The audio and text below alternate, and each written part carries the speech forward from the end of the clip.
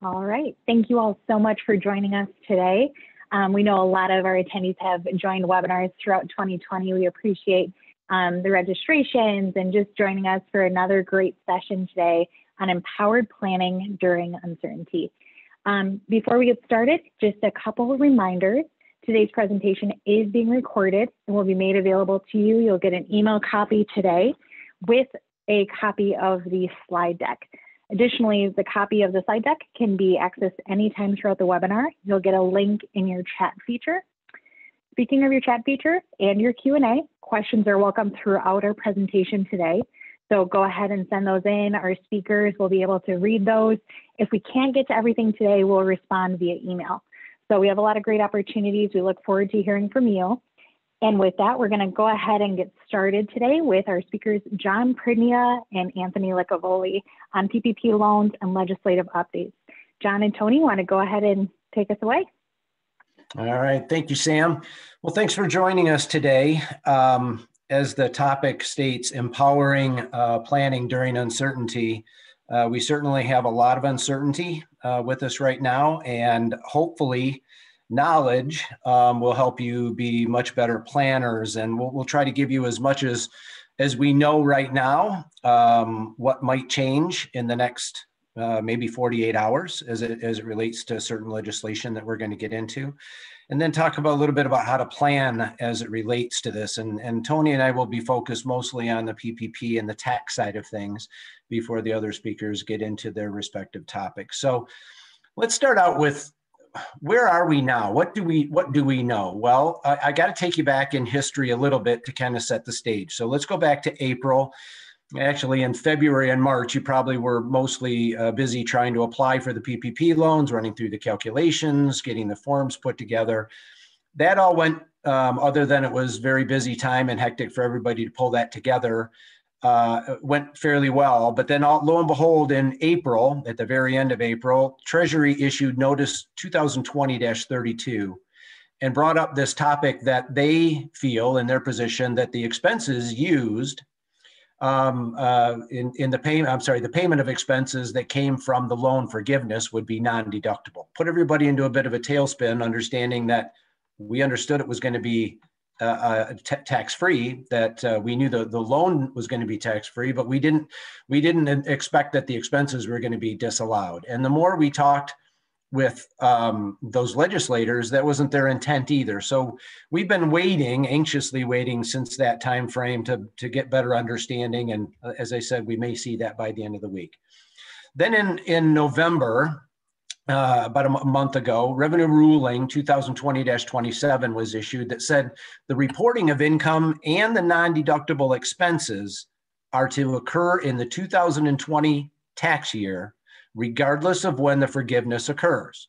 So you may not even have filed for your application, but if you were reasonably you had reasonable expectations. I don't want to say reasonably certain, but reasonable expectations that the loan would be forgiven. And in most cases, um, if you're less than a $2 million loan, that's probably everybody's situation. Then you had to report it in tax in the tax return for the 2020 calendar year. If you're a fiscal year end, it creates a little bit more issues, but let's just leave it simple for now and say it has to be reported. They followed that up immediately with Revenue Procedure 2020 51 that provided a safe harbor that basically was that if you're not going to get forgiveness, or you decide to give your loan back or repay it without uh, applying for forgiveness, well, then you don't have to pick it up in income. And that would make sense that, that you wouldn't have to do that, but they issued revenue procedure to do that. All, all this time since we've been dealing with the non-deductibility, as you can imagine, there's a lot of, of tax people out there um, looking through the code, looking through regulations, citing cases, trying to figure out was Treasury correct?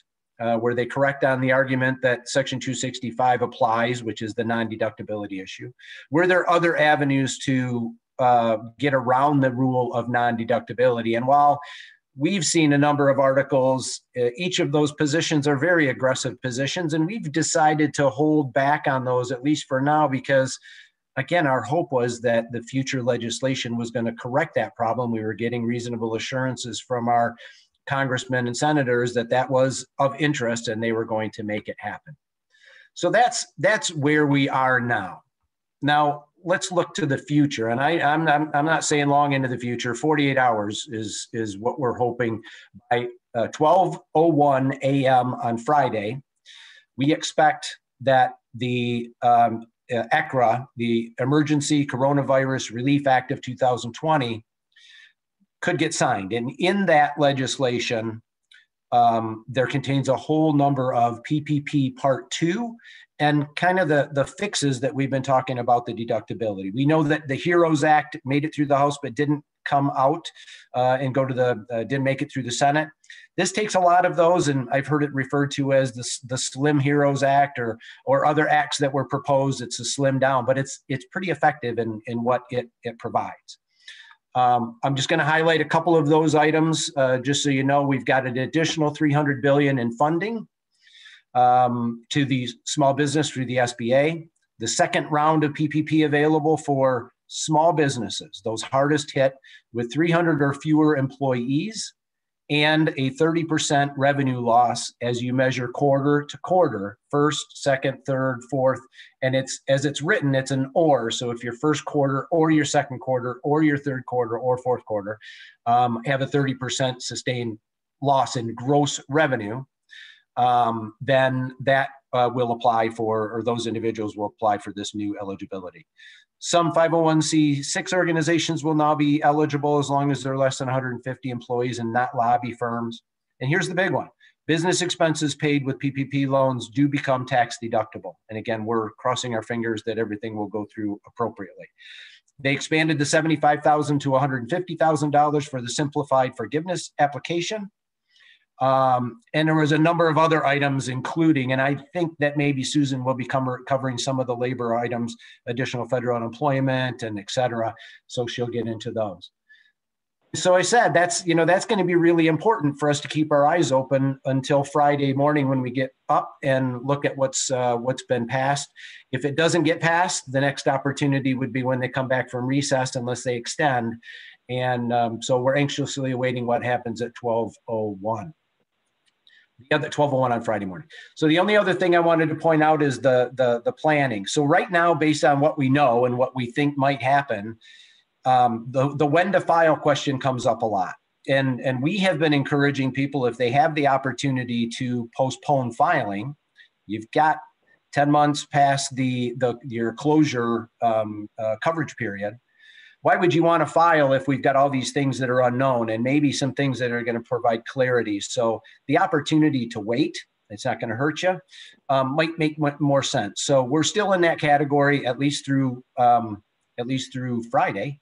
Um, and then after Friday, we'll we'll make uh, decisions and try to help our, our uh, customers with PPP loans make those decisions. It might settle up the issue of non-deductibility, and therefore there should be no reason to hold off filing. So that's where we're at. Tony, if you want to, do you have any comments regarding uh, that information? Yeah, yeah. So a, a couple things I want to mention that I just read right before this. So one thing that was not included in the um, initial uh, proposal that was that came out on Monday was additional actual stimulus payments to individuals. So that would be the uh, the twelve hundred dollars or the twenty four hundred dollars that you got earlier in the year. Now, I just read an article on, on Politico that mentioned that as part of the negotiations that took place last night, that there is a potential for a $600 uh, payment to come from that as well. So, uh, you know, the, the what, what John had talked about was a, you know, a, a, proposal that came out, a bipartisan proposal that came out earlier in the week. Uh, there was a lot of a lot of meetings yesterday, and it's going to be altered in some form for sure. But I, I know there is uh, a few on the Senate and um, House side on both the Democrat and Republican side that said that they will not vote for any bill that does not include some, at least some type of direct payment to individuals. Um, so, so that may end up changing as well. And then the, the only other thing I wanted to mention on that is that there was a a second bill that came out as part of this, which was the, the bipartisan state and local support and small business protection act. And that included some of those more controversial items that were preventing a stimulus package in the first place. So that included the uh, the liability protection and the state and local uh, funding um, that was really holding up this from from the start. So, uh, Sam, if we can move on to the next slide, we'll talk a little bit about uh, some of the uh, Biden tax proposals that came out. Um, I, I, don't want to spend too much on time time on this because I know we've talked about this on some prior webinars. But you know, the, the first thing before we get to those proposals, I do want to point out that um, as the, these were part of the campaign, so uh, you know, they whatever ends up happening after this point, these will ne- not. You know, there's very little chance that these proposals come out in their exact form. They will be subject to change, and they will change if anything gets passed. And, and the second item I do want to mention is that Congress may end up being split um, between the the House control to the Democrats and the Senate control to the Republicans. So um, that will depend on what happens with this Georgia runoff election, um, where where two Senate seats are up for grabs. Um, the more than likely, uh, I was looking at the odds today. Uh, it was about a, a, 60 to 70 percent chance that the Senate is uh, stays in the control of the Republicans. So, um, with, with, that being said, these proposals, even if they were passed in their exact form um, for what we're going to discuss, would have little to, I, I, would say, little to no chance actually making making it through the Senate. So, so keep that in mind as we actually go through some of these. So, if, if we're looking at the proposals, you know, big picture, uh, the, the, Biden plan is really focused around the idea of there's going to be tax raises for uh, certain groups of taxpayers to fund a lot of government programs and government spending programs. So programs like infrastructure, which has been discussed for the past, I don't know, I want to say the past decade, um, and, and also to fund credits and incentives for other groups of taxpayers. So talking about raising taxes for certain groups, well, uh, the first group that I want to talk about is anyone making over $400,000. And whether or not you're looking at a single individual or a married couple, you know, I don't know because again, these are just proposals at this point. Uh, but that 400K is the the line in the sand that the Biden campaign has sort of set to where they have promised numerous times throughout the campaign that they are not going to raise taxes for anyone making under that income threshold. So some of those proposals on there, we're not going to walk through every one, but you know, the the first thing is increasing that top tax rate from 37 to 39.6% for anyone making over that $400,000 threshold. Uh, the second item on there, and a pretty significant one, is, is subjecting earnings over $400,000 to the Social Security payroll tax. And that would include both the employee as well as the employer side. So that would be, you're looking at, I want to say close to a 12, a little bit over a 12% tax increase on wages above and beyond $400,000. And that would be split again between the employer and the employee.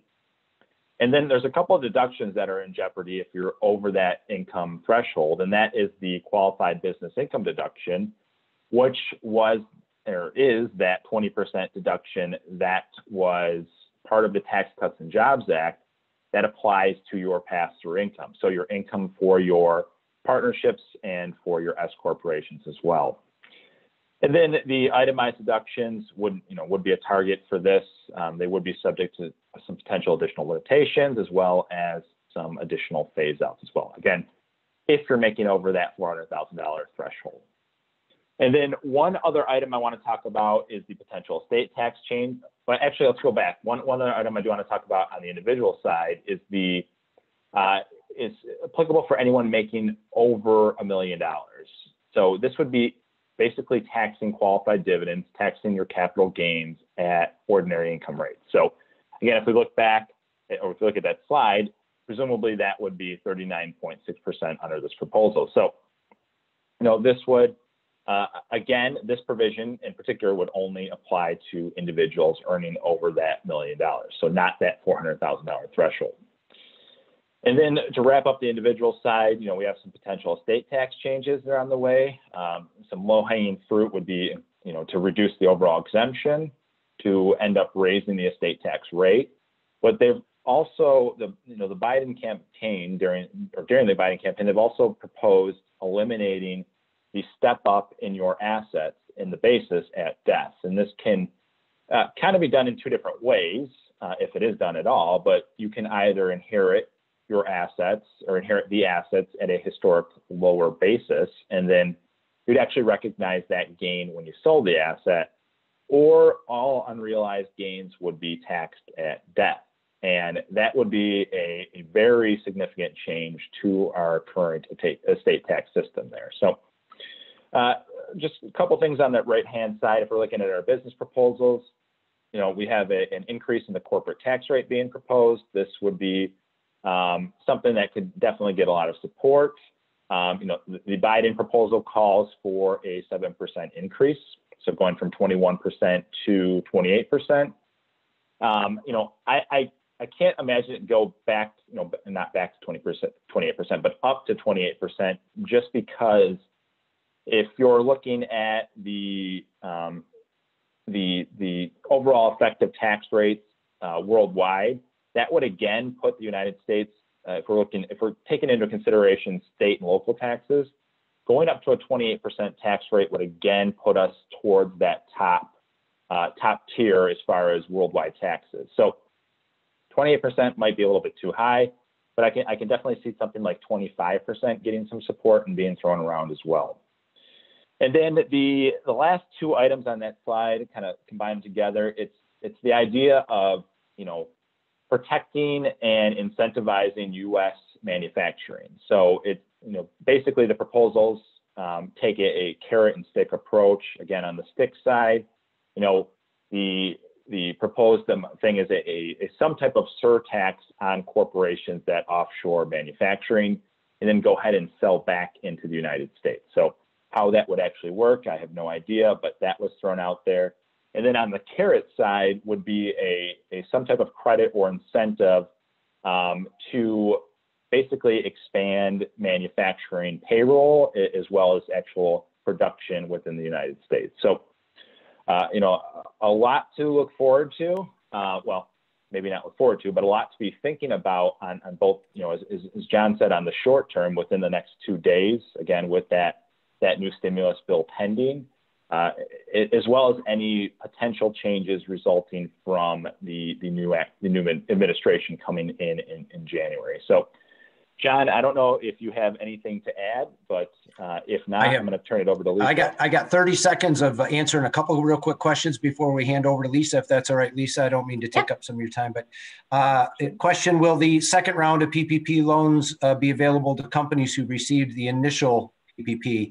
There's nothing in the act that, that would indicate that you're precluded from filing for the second round. In fact, the narrative that we're hearing is exactly that for those customers that really those those uh, those um, uh, businesses that really need it and they're focusing on the small businesses.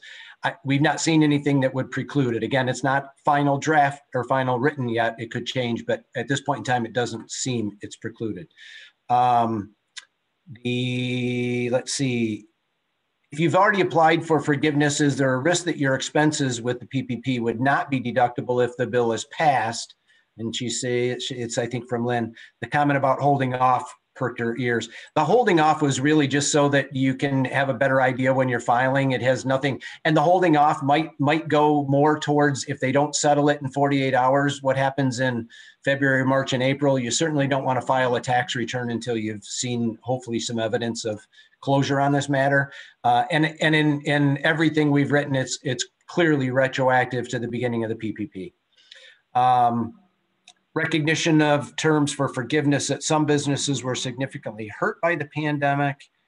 Um, not sure, Jerry, if I understand your question. I tell you what, Jerry, uh, uh, maybe um, send us an email and we'll try to respond to it. I'm not sure I understand your question. Yeah, John, I'll, I'll just add on that. There was yeah, I, have got the summary up right now, and there is some, you know, I haven't read the actual statute on what it says on the proposal, but there is something for uh, not restaurants, but something specific, uh, at least for uh, items, live venue items like movie movie theaters and uh, it looks like museums on here. Um, but I don't see anything specific to restaurants on that list. But again, it, you could just yeah. apply for the generic PPP uh, second round, anyways. Okay, and then uh, are you Tony avail? Are you um, got information on the FFCRA? I'm not familiar with that. I I have not seen anything about that being extended. So I, am assuming we're talking about the related uh, paid family and paid sick leave as well. And I have not seen anything on that being extended. Yeah, Susan, you may have information on that. She's saying no as well. So, yep, we haven't heard anything about extensions. All right, Lisa, sorry to take over a little bit of your time. I'll let you take it from here. Thank you. No, great questions. And I am going to cover my material at a pretty high level. I just want to start off with the uh, state approach to the PPP loan forgiveness. So something to keep in mind if you didn't have enough to already put um, and put out there and think about is that the states don't necessarily have to follow what's happening for um, the federal. And of course, generally when they're not following it, they each do it in their own unique way. So keep that in mind. Um, don't assume that just because you're not picking it up, uh, picking up the income for federal income tax purposes, that there might not be some states that require you to, especially some of the gross receipt states. Likewise, some of them that some of the states that might be following portions of the PPP loan forgiveness statutes, they might not follow all of it. So and I'm expecting that there's going to be a lot more information coming out from the states as we get closer to filing deadlines. So keep that in mind and make sure that you've left time to think about that when it's time for the filing season. Another area where we're seeing a lot of information coming out is about remote workers, and it seems to be getting a lot of headlines. And for those of us in state and local tax, this is nothing new. Um, people have been traveling and working remotely but during the COVID time, it, it has gotten a lot of attention. And uh, there's a lot of questions around whether or not having a remote worker creates nexus and, and for which taxes it creates nexus for. So just as a reminder, all nexus is, is a fancy word for a connection. That means that an employer or a business, a company has enough of a connection with a state that the state can assert a tax over them. And when you have a remote employee in a state, uh, that you have Nexus. Uh, there might be an exception to it, but it's going to create Nexus for all the taxes that we've listed here.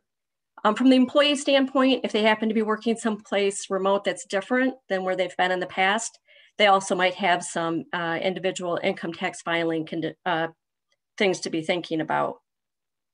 So when we've got a remote worker, oftentimes, um, if we can go to the next slide, there's there might be a protection or there might be some exceptions to having to file. For income tax, the most common one is for or for companies that are selling tangible personal property that's shipped from another state. They might have some protection from income tax. I put sales tax on here. Uh, there's been a lot of attention around economic nexus or Wayfair in recent years. And I oftentimes I find a disconnect for companies saying, well, I've got an employee there, but I don't meet the economic threshold. Well, that's once you have physical presence, you have nexus. So the economic nexus doesn't override physical presence, it's an addition to it. So, uh, what are the risks, or I'm sorry, what some of the protections that we have on the next slide are for states that have passed some sort of legislation regarding where do they stand if we've got a remote worker related to COVID. And you'll notice that the yellow is for states that have not issued any guidance, and that's the predominant color that's on the slide. What that means for those states is that it's business as usual. They are going to assume that it's income tax nexus and that it's sales tax nexus. A couple of states have said that nexus is waived, and maybe they've waived it for income tax and maybe not sales tax. So again, when you're going through and you're doing your compliance work, your year-end work, or um, if you're looking at maybe having to make fourth quarter payments, it'll be important to know if you've got any exceptions to filing. And um, on the next slide, I touch on the risk. And oftentimes there's a big disconnect between what the actual risk is and only having an employee in a state. Oftentimes I'm asked, well, or I'll hear statements that will say, well, I've only got one employee in that state. How, how much of a liability could there be? Well, that's, that's the disconnect. That's disproportionate. Once you have Nexus, you have Nexus for all of your activity. They don't prorate it based on just your one employee. Now for income tax, you do get to apportion your income. It could still be significant if it's if one of your largest customers or if you have a lot of sales in that state. I think the bigger risk is probably on sales tax. Sales tax is going to be on all your sales to that state. The average rate uh, across the country is probably a little bit higher than 77%. Pretty significant penalties and interest. They can be up to 50%. And all of that's coming out of the bottom line. You, you aren't, you know, you may have a chance to go back and get some exemption certificates. You may have a chance to go back and find out if your customers paid anything. But if the answer to all of that is no, or even if it's only a portion of it, all that's coming out of your bottom line. So on top of everything else, it's important for companies to get their arms around where were people located? Where have they been located? And oftentimes, where are they going to continue to be located? Because a lot of our clients, a lot of companies have really embraced remote working. This the pandemic proved to them it can be done. So this may be an ongoing situation. And if we can have the next slide. So what do we do with our employees that are there? The employer is supposed to withhold where the employees performing the services. Uh, up. If an employee and the and the company are in the same state, that's usually pretty easy. But what happens when an employee lives in another state and, or is traveling or telecommuting? Well, generally there are no exceptions or protections for an employee that's in a state that would uh, negate the employer having to do any withholding. And uh, there's uh, Illinois has a, a small exception if you've been there for less than 30 days the pandemic's been going for longer than 30 days, so I, I suspect that everybody's past that.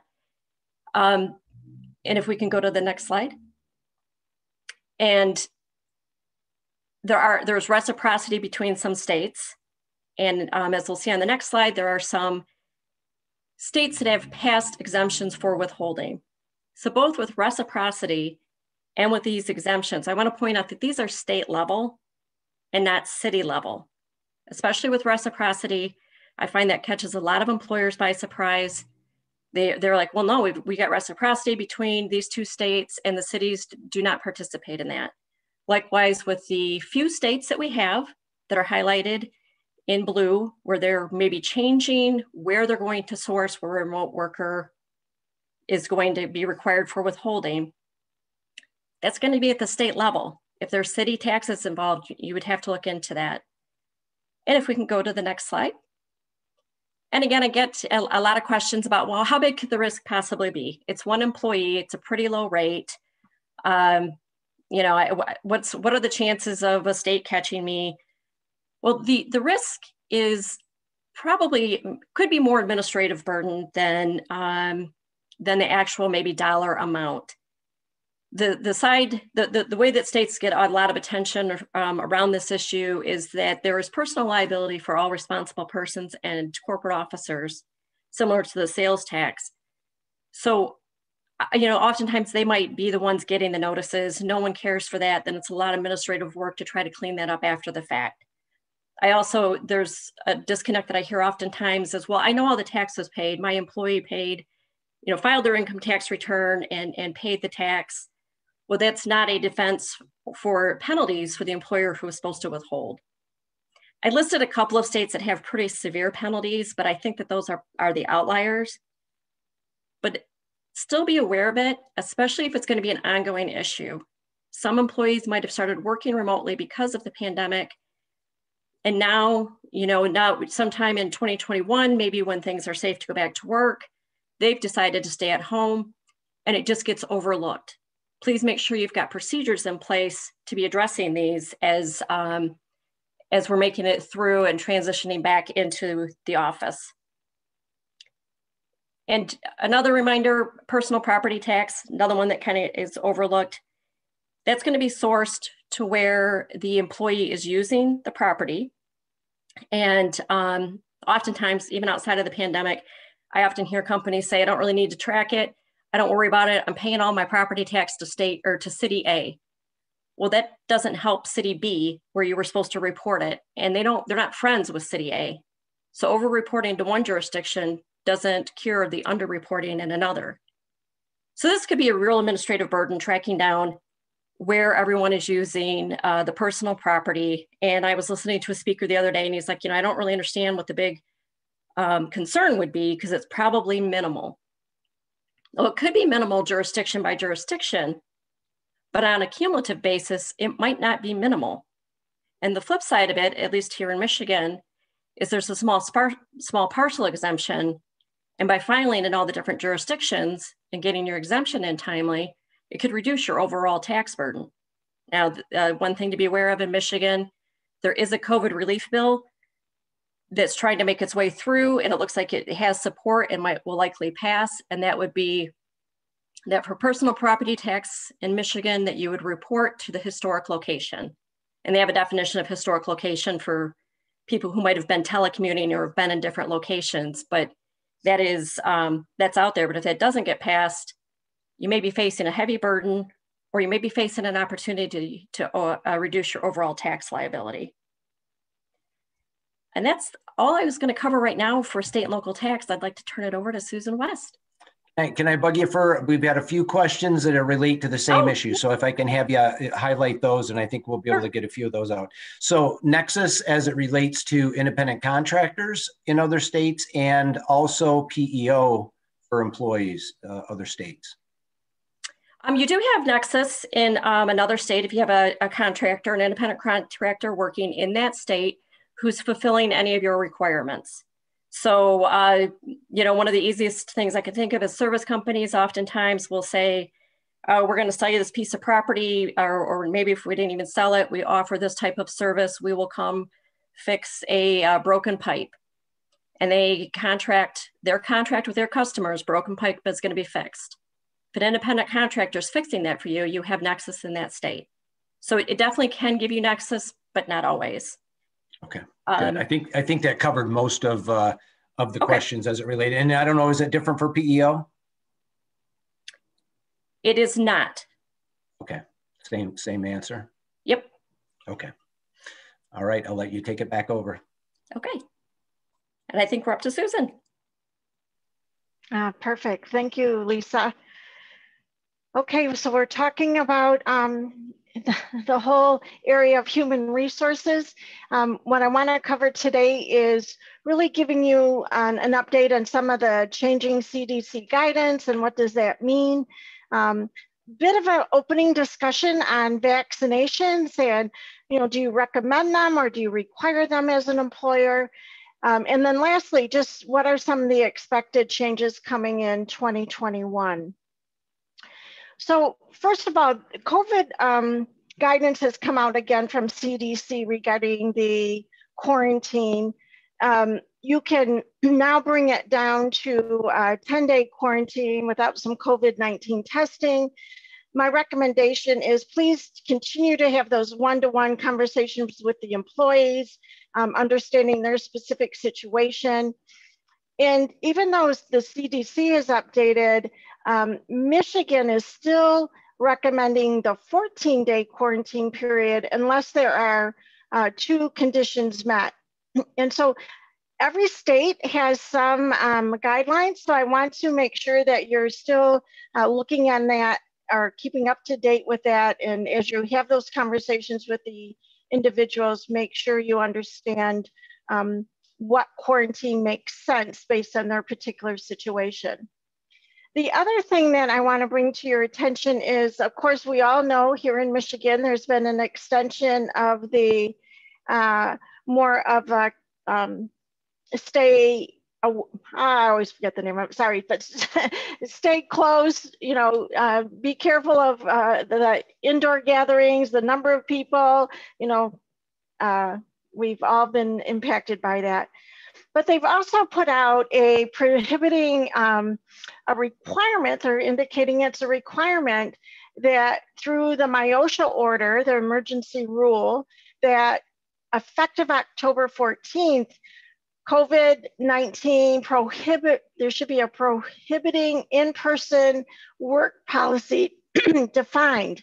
And basically the purpose of that is that you will prohibit in-person work to the maximum extent possible during the pandemic with the goal of keeping as many people as possible out of the workplace. Um, idea being that will help reduce the spread of the COVID-19 in the workplace.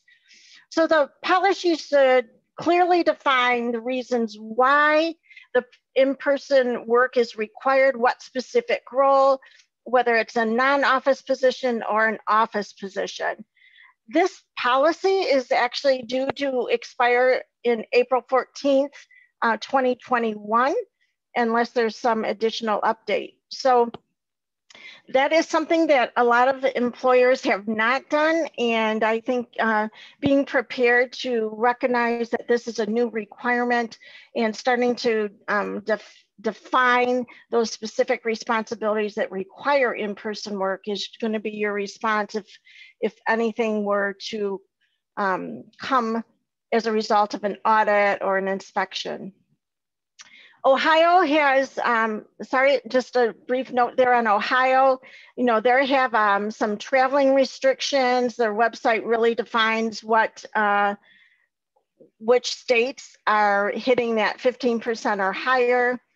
And then um, the new, the Ohio Department of Health had an, uh, a 10 p.m. to 5 a.m. statewide curfew through January 2nd. So every state has its, you know, um, idiosyncrasies, should I say. Uh, next, please. this is just a reminder, really, um, that the guidance continues to come up, the recommendations. Um, my whole goal of just sharing this slide is please make sure you're keeping your communication with your employees on your COVID-19 workplace preparedness response plan, keeping that updated, reminding employees of their responsibility, making sure that there's training and orientations on your COVID-19 uh, practices for new hires. And the other comment I wanted to make is we know that the Families uh, First Corona Response Act, FFCRA, and those leaves currently are defined to end December 31st. We expect there to be an extension, but there's been no news on that yet. So I recommend that all employers who have employees who might be on that emergency family medical leave act due to childcare and COVID um, related issues, that you have conversations with those employees to indicate what, what happens if they're still on it December 31st. Now remember, you as the employer could choose to extend that, but the tax credit would stop. So it's a conversation that I recommend you have. We have no real indication of when an extension would come. And the other piece of the leave is the emergency paid sick leave.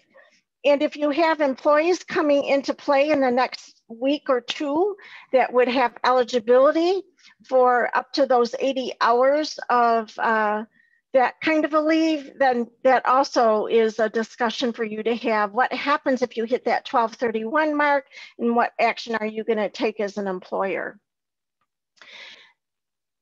Okay, now on to the vaccination um, discussion. Really, I recommend that you, you folks start having conversations around how do you plan for this? What questions do you need to ask? What's the impact to your customers?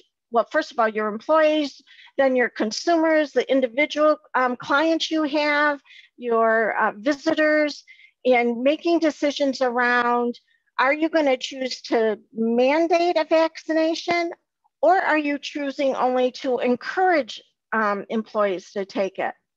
We're, we all may already be experiencing how polarizing this topic is. Um, comments like, I would rather lose my job than get the vaccine. I would rather quit my job than be exposed to an unsafe workplace. If we take a look at the uh, next slide, we know that protecting the public outweighs employees' rights. And there's a lot of discretion in protecting the workplace. And based on the findings of the US Centers for D Disease Control and Prevention, the Equal Employment Opportunity Commission, or the EEOC, has determined that COVID 19 meets the direct threat definition. And therefore, they're saying that employers can make a, a, mandated requirement that employees uh, get the vaccination. So just trying to put some thoughts here in terms of a pro-vaccine kind of considerations, and then also a personal choice or a recommended position. Um, how do you begin to make these decisions? Some healthcare providers have already been in um, the space where they've mandated vaccines of other kinds in the past. But there's this a lot of wait and see. What does the um, vaccine data going to tell us in terms of how long is it effective and at what point do you require the vaccine? Is it a return to work uh, scenario from a um, from being off work?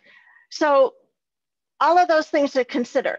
If in fact there's a mandated position you take, what we need to understand is that the EEOC, although they say it can be mandated, they reckon, recognize that there are two accommodations that could happen. One is based on an employee with a disability that prevent them from receiving a vaccine. And the second under Title VII is that if an employee has a sincerely held religious belief that prevents them from receiving the vaccine. So the messaging there is that employers need to be prepared to have these kinds of discussions um, around um, making an accommodation and uh, be prepared for asking the right questions and holding the right kind of documentation, proving that you've been in an interactive process, because that is one of the areas that is getting the most litigation right now, or a lot of litigation, is that employers are failing to engage in an interactive process with their employees. The last thing there, I guess, um, was just that employers would not need to accommodate uh, a secular or medical belief about the vaccine, much like under COVID, you, you um, don't, if an employee fears COVID, it doesn't mean that they can't come to work um, is similar here. If they have a medical belief about vaccine, it still doesn't mean that they'd be, um, um, they wouldn't have to still get the vaccine. It wouldn't be a reason enough. So, um, okay, so the next slide, looking forward to 2021. wow, there's just a lot here and I'm, I provided a lot of um, bullet points um, I, I, know going forward, especially after the Biden administration comes into play on January 20th, we're going to see some pretty quick action in these areas. Um, I already mentioned the EEO focus on uh, disability discrimination, that interactive process. Um, so I want you to be aware that we you need to be prepared to hold those conversations. Wage and hour, um, there were some planned increases. For example, here in Michigan, uh, the planned increase of the minimum wage from 965 has been delayed. We did not hit the under 8.5% unemployment. We're waiting for the B, BLS to confirm that, but it, it, it looks um, as though the minimum wage for Michigan will be um, delayed. Um, independent contractors could have new testing requirements in terms of look to California to see some of what they're doing. We expect to see possibly that come forward for all states. Um, pay equity, the whole EEO1 reporting um, will be expanded back to possibly including paid data and um, also uh, be electronically reporting, allowing for uh, a bigger gathering of that data at the DOL. And then um, we're seeing under the Fair Labor Standards Act some back to narrow definitions of exemption testing. So making sure that salary thresholds being met, and then also um, making sure that you look at how those year-end bonuses and discretionary pay is paid. We're going to see some potential changes in that area. We do, we've already seen um, expanded state leaves, uh, both sick paid leaves, but there's um, some expectation that uh, the Family Medical Leave Act could be extended for all employees, not just for those employers over um, 50, 50 employees. And then workplace safety. Currently, we're seeing a lot of activity at the state level um, there is an increased expectation that the federal uh, OSHA will have um, more to say. They've been fairly quiet under the Trump administration, but we expect to see some changes um, as um, the Biden team comes on board. Next, we have um, non-compete, non-solicitation agreements. Those are fairly common. There's a lot of bipartisan support for a narrow definition, lower wage earners being disqualified. Um, federal contractors have some new requirements. We anticipate the reversal of the sensitivity training plans. Um, on any investigations, the first question is what kind of training did the company implement? So being able to make sure that we're holding that in place, not only on the, the COVID side, but also on some of the state mandatory training around harassment or inclusion. Um, those federal contractors are pretty clear on what their requirements are. And then labor posters, lots of changes coming. Please make sure you have both your hard copy and, and a way to distribute those kinds of things electronically. A simple compliance area, but sometimes um, forgotten. Okay, so lots to cover there. I'd love to, uh, I'm um, happy to hand this off to Stephen Gibson, one of our talented associates here. So thank you, Stephen. Great. Well, thank you. Um, my name is Stephen Gibson. I'm a principal within our Rehmann Wealth Group, uh, focusing exclusively on providing advisory services for retirement plans. Um, I want to say thanks for allowing me to, to anchor the, the presentation today. I like to think that I am the, the, the last bout of the fight card and what everyone's paid to see. I almost put in a poll at the beginning of this to, to see if anyone on here registered to see and hear about the retirement plan or whether it was PPP related items. But at the fear of significant disappointment, I elected not to, to put in that poll.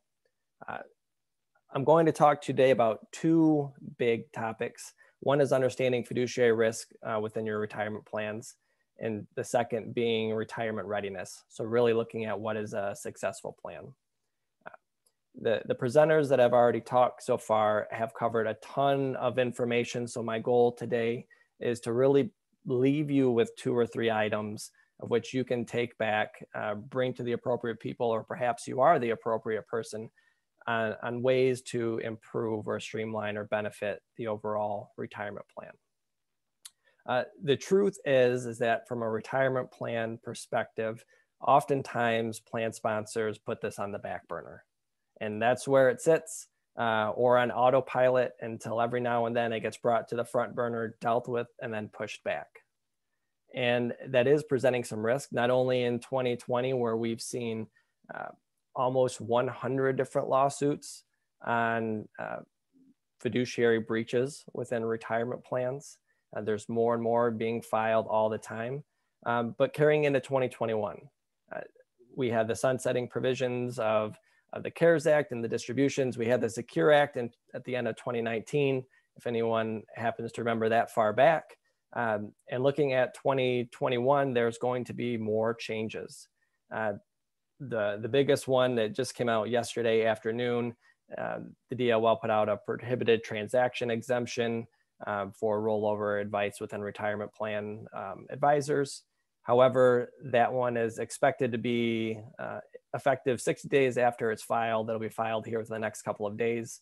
It's highly anticipated or expected that the Biden administration will have their inauguration before the 60 day deadline. They will pause, hold, bring it back and look on it. And the, the word on the street is they're going to make it tougher or, or more difficult or more strict, uh, which personally I think is, is a great thing.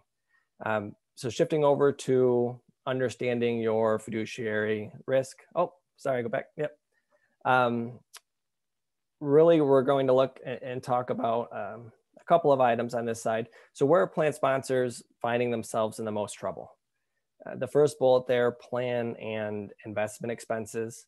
This is where we're seeing a lot of the lawsuits uh, happen. They're still predominantly in larger plans, However, what we're seeing there is funneling down to what you should be doing inside of your own retirement plan as fiduciaries to lower uh, the risk. So for plan and investment expenses, if I were to ask you, could you articulate how much each provider receives in compensation? And not only uh, how much do they receive, but how they receive it. So is it coming directly from the funds? Is it being billed to the company? Understanding that and, and saying, is that the best choice or, or the most appropriate way? Uh, how are fees being benchmarked? Do you have a process in place where you're looking at plan costs on an annual basis and documenting that fees are reasonable to, for the services provided? Ways to lower this risk is exactly what I just said, document. Document, document, document. You should be meeting at a committee level, um, or if you're a sole fiduciary by yourself, and documenting that you've looked at these things, as this is where a lot of the lawsuits have occurred, is plan sponsors are failing to assess fee reasonableness. Uh, they're not looking at share classes of investments. So that's another big one where uh, you might be in higher cost funds without realizing that there's lower cost alternatives that are the exact same fund, just a different share class. And do you have a process in place to look at those to say, here's why we chose the specific share class for each uh, particular investment? Um, plan operations, while not necessarily heavily on the lawsuit side, this is where the majority of plan sponsors trip up on, on a day to day basis. Uh, and really, there's a few major provisions within a plan that trip up uh, plan sponsors more often than not. The first one being definition of compensation. So understanding what is included and excluded in your definition of compensation for the plan. Should you be deferring on bonuses? What's the default? Is it zero or what they're putting in? Uh, moving expenses, post separation compensation. This is one of the most frequently missed items. And while the correction isn't that big, it's the time that's involved uh, to making it right. Uh, another, a couple other plan operation items, one being employer matching contributions. So are your contributions being made on a per payroll or plan year basis? I do have a true up provision in place to where if you're making matching contributions, are you truing it up at the end of the year, making them whole? Um, shifting over to uh, the third bullet, so investment selection and monitoring being able to understand who are the fiduciaries on the plan. Is, is it just you or is it a group? Uh, and specifically, is the broker or advisor on the plan serving in a fiduciary capacity? Uh, if not, that's opening up for, for a little bit of a heightened risk, right? Because now the plan sponsor is the sole fiduciary on the plan, uh, being responsible for selecting and monitoring all of the investment options. And most plan sponsors, when they hear that, that's not a position that they want to be in.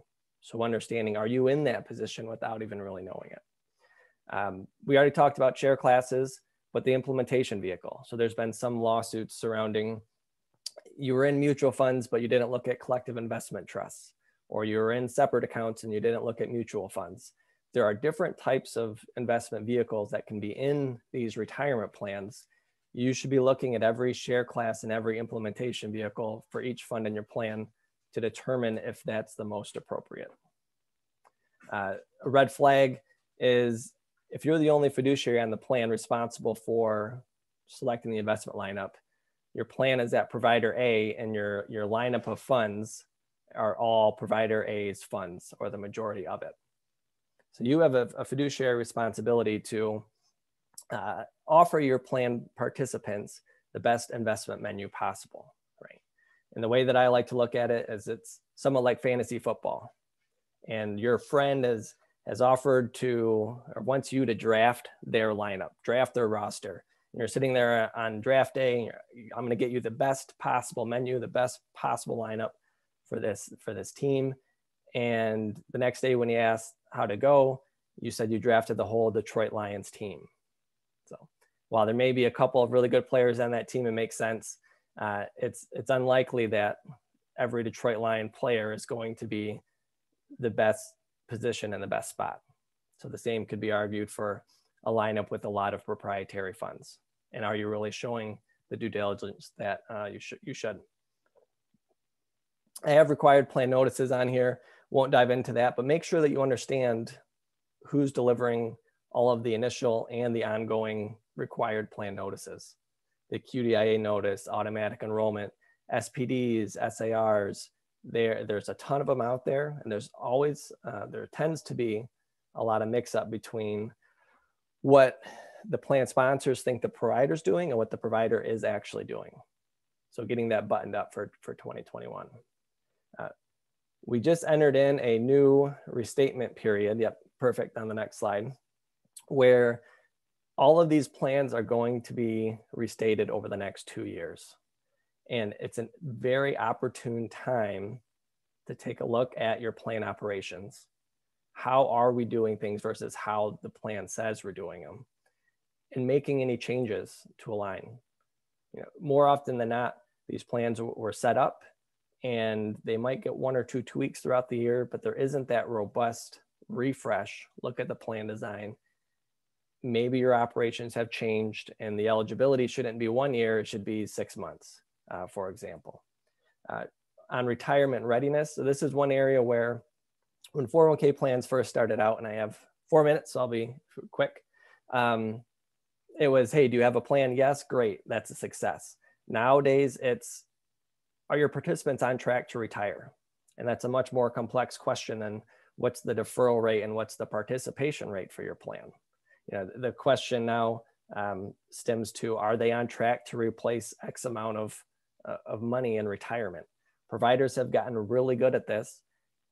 And take the time and look at the details. Uh, education is no longer trying to get people to put in money and save. It should be targeted. It should be looking at specific employee groups. How do we identify them? Uh, should it be on demand? Should we offer virtual meetings? Should we have group meetings? Should we have meetings specifically for understanding Social Security and retirement income? You know, what do participants really want to know? Um, and, and there was a recent survey, and I don't recall where it was from, uh, but plan participants listed education as one of their top wants within small businesses. It's there, they're craving it, but they want more than just investing in retirement plans. And that's where financial wellness comes into play, right? If they're on track in retirement, but they're not doing the things outside of the plan, managing their debt, uh, taking care of their, their school loans, and who knows where that's going to be here next year, um, they're not setting themselves up for success. So instead of your typical education meetings, look at some alternative forms, right? Should we be talking about establishing a will or beneficiaries and how to set up estate planning items? There's some great tools out there on the website. Take some time, look at them on, on your provider's website and find out how are we going to engage our participants in 2021. 2020, what we found out is when participants needed us most, which was when the, the shutdown occurred uh, earlier on in the year. A lot of advisors or brokers had a hard time getting to those people because the, the standard measure that they were used to, they couldn't do. You know, they couldn't go to the workplace. They couldn't set up a group meeting. Uh, so in 2021, we expect that to continue. So look for ways in which uh, you can better engage your participants. I know that was, was quick. I'll leave you with a poll. This is the, the, the last poll of the day to see how many people are still on. Which of the following aspects of retirement plan intrigues you most? Keep in mind there could be 50 or 100 different ones on here, but I had to limit it down to, to four. Uh, I would love to, to do this again, to come on, to have a longer presentation. Uh, hopefully you all would be interested in it. And I appreciate everyone's time. And I will kick it over to you. Well, let's see the answer first. Thanks, Stephen. Um, we're going to run the poll a little bit while longer. You can all see it on your screen while we pull up questions. You'll see that slide up there now. I know we answered a lot of questions throughout today's presentation. Um, much to Stephen's uh, regards about the Detroit Lions, this lineup was A+. plus. So thank you to all the speakers today. we appreciate you and um, all of your knowledge. I know we answered some questions following each of the sections, um, in the slide deck, you can see the speaker's contact information. So if there's anything that you wanted to follow up on, I know we had a lot of great questions coming in. Additionally, we are looking at our webinar lineup for the remainder of this year and moving into next. So make sure you're watching rehmann.com for those 2021 webinars coming up and additionally watching your email. So you'll be getting a copy of today's recording and slide deck. And with that, um, I think all of the questions have been answered. I know we've been sending out some links to additional resources. Um, John, any final statements? No, just highlight that um, uh, where they can obtain the slide deck and the um, recording. I think it was listed early on, but just make sure that they know that it's in that chat area and it'd be great. Thanks, Sam. Absolutely. Yep. The slide deck is um, available in the chat and will be emailed to you directly. So you'll get a copy of all these great resources. Um, but we look forward to our next webinar. Thanks, everyone. Have a good day. Thanks.